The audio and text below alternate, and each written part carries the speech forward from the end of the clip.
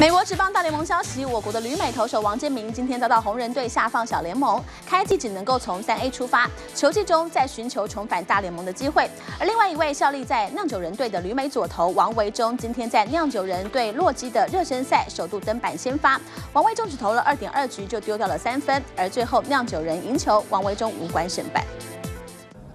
距离红人队今年球季的开幕战只剩下十一天的时间，调整阵容势在必行。红人已经宣布要将三位投手和一位野手下放到小联盟春训营，我国旅美投手王建民也在下放名单之中。和健仔同时遭到下放的另外两位投手都不在红人队的四十人名单当中。不过王建民是唯一有大联盟经验的投手。健仔这个月底将要满三十四岁，加盟红人之后，在春训一共出赛了三场，战绩一胜一败。主投的七局当中被敲出十支安打，但也送出了七张老 K，而且没有投出任何的保送。丢掉了四分当中有三分是责失，累积防御率是三点八六，表现只能说是差强人意。红人最后决定先把王建民下放小联盟，和签约时的预期落差不大。只要开季之后大联盟的先发投手出状况，现在随时都有可能上来救火。